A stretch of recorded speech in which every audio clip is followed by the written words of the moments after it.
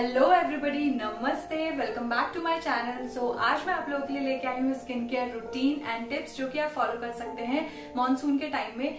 सो so, सबसे पहले मैं आपको बताऊँगी कि आपको आइडेंटिफाई कैसे करना है कि आपका स्किन टाइप है कैसा। तो उसके लिए आपको क्या करना है नॉर्मली आपको वॉश कर लेना है अपना फेस और 10 टू 15 मिनट्स आपको कुछ भी यूज़ नहीं करना उस पर उसके बाद आप क्या करेंगे एक टिश्यू पेपर की हेल्प से आप डैप डैप करके देखिए अगर आपको लग रहा है कि ऑयल सिक्रीट हुआ है तो आप समझ जाइए कि आपका जो स्किन टाइप है वो ऑयली है। अगर आपको उन टेन मिनट्स में बहुत स्ट्रेची स्ट्रेची फील हुआ है बहुत ड्राई फील हो रहा है तो आप समझ जाइए कि आपका जो स्किन टाइप है वो ड्राई है। अगर आपको इस टेन uh, मिनट्स में यहाँ पे टी जोन में आपको ऑयल आया है मतलब इस एरिया में और यहाँ पे आपको स्ट्रेची स्ट्रेची फील हुआ है तो आप समझ जाइए कि जो आपका स्किन टाइप है वो कॉम्बिनेशन है। बट अगर आपको इनमें से दोनों में से कुछ भी फील नहीं हुआ ना आपको स्ट्रेची फील हुआ इस टाइम पे ना ऑयली तो आप समझ जाइए कि आपका जो स्किन टाइप है वो नॉर्मल स्किन टाइप है। तो मैं आपको आज आपके स्किन टाइप के अकॉर्डिंग ही आपको एक रूटीन बताने वाली हूँ जिससे कि आपका जो स्किन है वो बहुत ज़्यादा इम्प्रूव हो जाए और बहुत ज़्यादा हेल्दी लगे। सो so, मैंने कर लिया अपना फेस वॉश अब इसको ट्राई कर लूँगी अच्छे से डैप डैप करके. आपको कभी भी रब करके अपना फेस वॉश नहीं करना है. अब हम अपने नेक्स्ट स्टेप की तरफ़ चलते हैं जो कि है क्लीनिंग तो अब हम क्लीनिंग के लिए हम ले रहे हैं रॉ मिल्क एक बोल में और हम ले रहे हैं फ्यू ड्रॉप्स ऑफ़ लेमन उसके बाद इसको अच्छे से मिक्स कर लेंगे. अब मैं आपको दिखाती हूँ कि आपको कैसे करनी है क्लीनिंग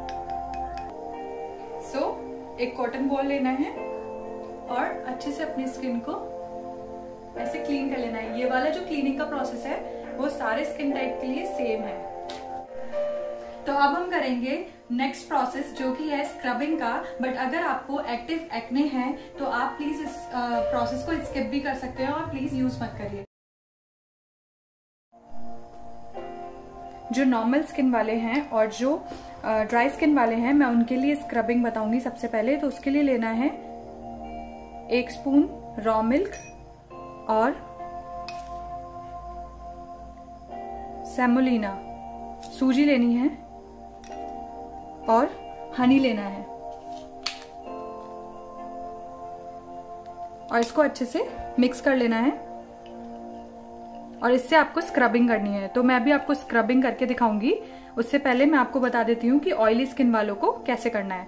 सो ऑयली स्किन वालों को डायरेक्ट टमाटो पे कॉफ़ी पाउडर लेना है और जो कॉम्बिनेशन स्किन वाले हैं, वो भी। ऐसे। तो मैं बताऊँगी आपको कि पहले नॉर्मल और ड्राई वालों को कैसे करना है।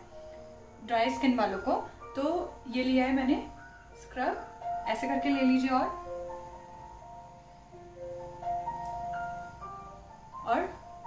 सर्कुलर मोशन में आपको एक से दो मिनट तक स्क्रबिंग करना है। तो मिल्क जो है आपको मॉइस्चराइजेशन प्रोवाइड करेगा।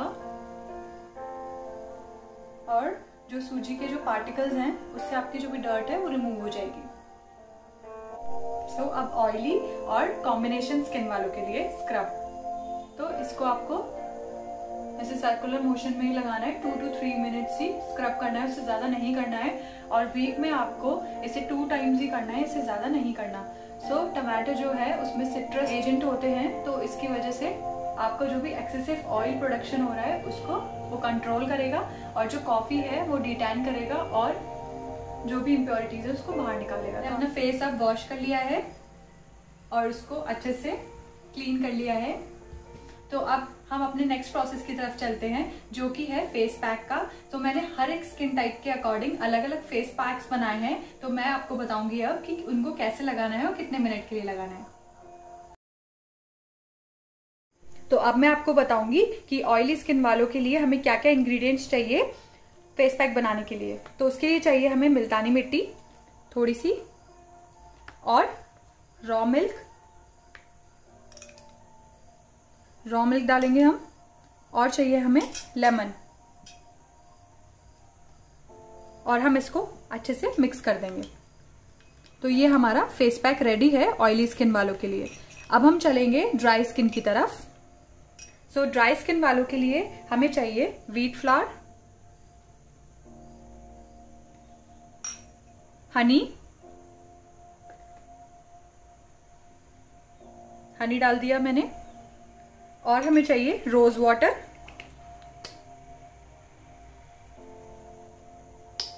और एलोवेरा जेल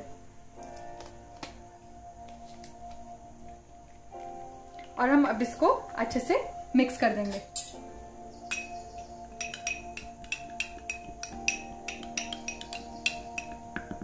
तो ये हमारा फेस पैक रेडी है ड्राई स्किन वालों के लिए. अब हम बनाएँगे नॉर्मल स्किन वालों के लिए फेस पैक तो उसके लिए हमें चाहिए बेसन और हमें चाहिए हल्दी पिंच ऑफ़ हल्दी and aloe vera gel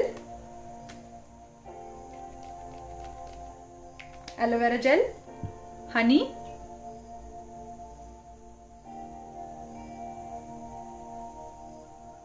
and गुलाब जल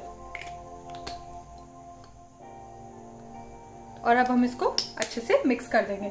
ये हो गया हमारा नॉर्मल स्किन वालों के लिए। तो जो मैंने ऑयली स्किन वालों के लिए बताया था तो वो लोग जो है कॉम्बिनेशन स्किन वाले, वो भी उसको यूज़ कर सकते हैं। वरना मैं उनको एक तरीका बताऊँगी कि कैसे आप कर सकते हैं। तो देखिए अच्छा सा फेस पैक रेडी है नॉर्मल स्किन वालों के लिए। और हाँ जो सेंसिटिव स्किन वाले हैं, उनके लिए सिर्फ़ एलोवेरा जेल और हल्दी मिक्स करके आपको लगाना है। तो ये ऑयली स्किन वालों के लिए जो फेस पैक बनाया था, वो हम लगा रहे हैं। और हाँ आपको अंडर आई एरिया में नहीं लगाना है इसको। और 15 मिनट्स के लिए लगा के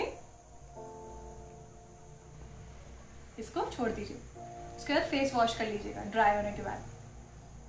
तो ड्राई स्किन वालों के लिए फेस पैक तो इसको भी आपको पूरे फेस पे लगाना है 10 मिनट्स के लिए, और उसके बाद फेस वॉश कर लेना है, जब नॉर्मल स्किन वालों के लिए। ये पैक बेसन वाला ये आपकी स्किन को और ज़्यादा ब्राइट कर देगा। सारे नेचुरल इंग्रेडिएंट्स यूज़ करे गए हैं हर पैक में बट प्लीज़ आप इन सारे पैक को लगाने से पहले अपना एक पैच टेस्ट ज़रूर कर लें कि आपको किसी भी इंग्रेडिएंट से कुछ भी एलर्जी तो नहीं हो रही।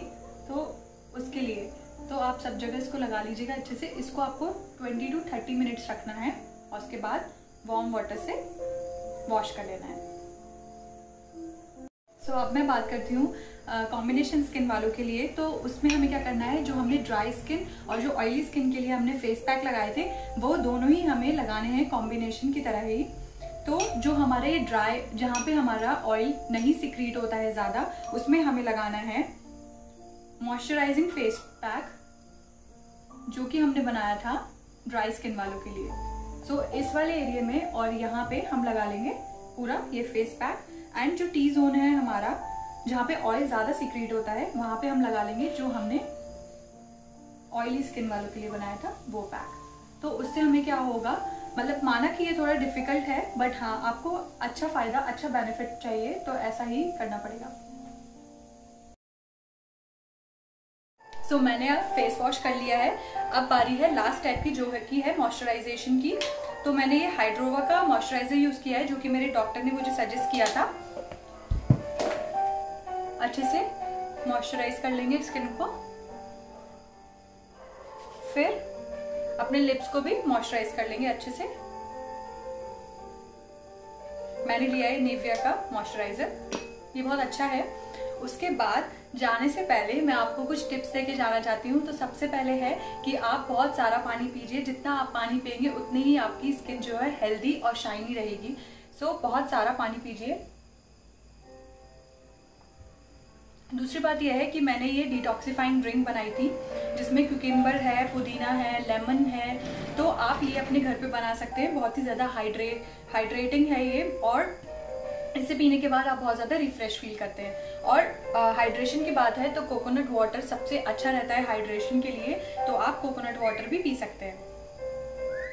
होप ये वीडियो आपको पसंद आया हो, आपको बहुत ज़्यादा यूजफुल लगा हो। अगर आपको ये वीडियो बहुत पसंद आया तो आप मेरे चैनल को लाइक शेयर सब्सक्राइब ज़रूर करिए और बेल बटन जो है नीचे उसको ज़रूर प्रेस कर दीजिए, जिससे मेरे आने वाले वीडियोस आपको शो हो सके। सबसे पहले आप उसको वॉच कर सके। और हाँ अगर आपको स्किन केयर रिलेटेड कोई भी और इश्यूज़ है प्रॉब्लम है प्लीज़ मुझे बताइए कमेंट सेक्शन में। मैं उसको रिजोल्व करने की कोशिश करूँगी। Thank you so much